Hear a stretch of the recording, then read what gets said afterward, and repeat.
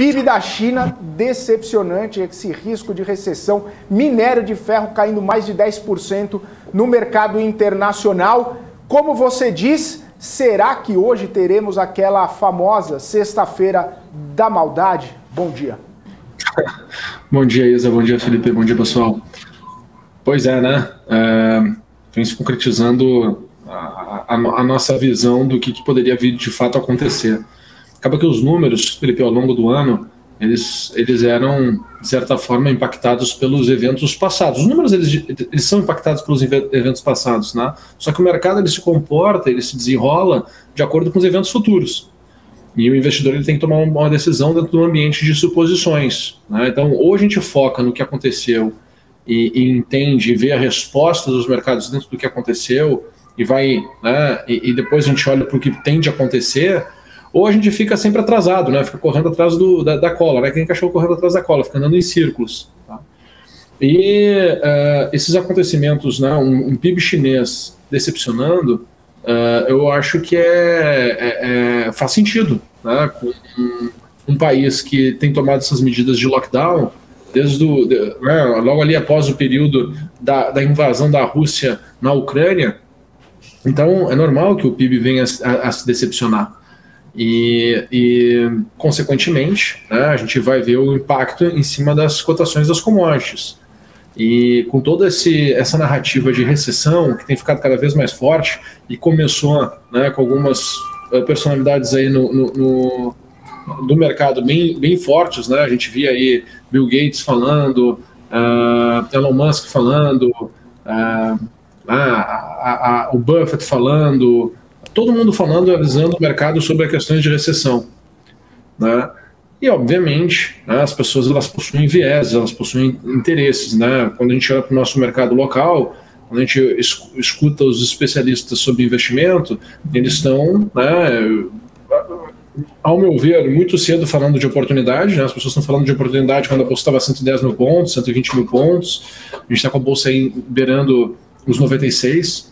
E e querendo ou não, uh, me parece que a gente começa a entrar naquela atmosfera do medo. Né? Acho que o movimento que nós tivemos ontem do mercado, acelerando o movimento de queda, né? chegando no número que nós falávamos uh, no início da semana aqui no, no Morning News, uh, isso entra, começa a gerar uma atmosfera do tipo, poxa, cara, as coisas de fato estão muito ruins, né? Aquilo que estão falando de que pô, a gente está tendo aqui uma oportunidade, Tu olhar uma Vale caindo do, na, na, magnitude que ela caiu ontem, né, as pessoas se incomodam, porque é uma desvalorização do patrimônio, é uma desvalorização do capital muito forte. Tá? Claro que muitas pessoas falam, ah, você não tem que olhar para a valorização ou desvalorização do seu patrimônio. Claro que tem.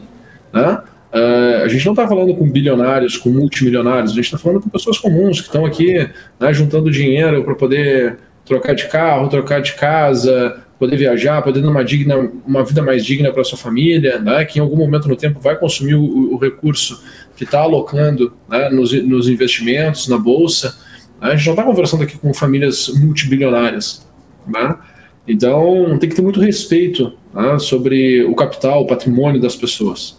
E o que vem acontecendo, né? Pô, a resposta do PIB, eu acho que estava bem, bem, assim, estava é, bem claro que, que a gente teria surpresas negativas. Estava tá? bem, bem, bem, bem claro. E eu acho que a gente ainda vai ter mais surpresas negativas, principalmente em relação à inflação nos Estados Unidos. Tá? Eu acho que vale a pena fazer o exercício uh, da resposta dos mercados. Quando a gente olha para a Nasdaq, quando a gente olha para a S&P, quando a gente olha para a Dow Jones, a gente percebe que tem muito espaço ainda para queda, para voltar para as máximas do período pré-pandemia.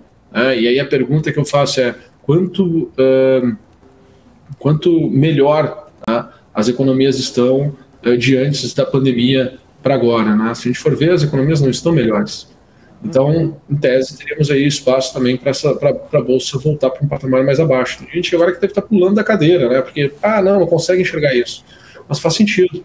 Né? Eu acho que não tem que, não tem que ter, ter, ter uma cabeça uh, ou um pensamento né, eh, rígido em relação a isso. Eu venho acompanhando né, diariamente aqui com vocês uh, a resposta que os mercados dão em momentos de alta, momentos de baixa. Tá? Por hora, Felipe, uh, as coisas elas estão uh, se deteriorando. Eu adoraria ver uma resposta positiva do mercado.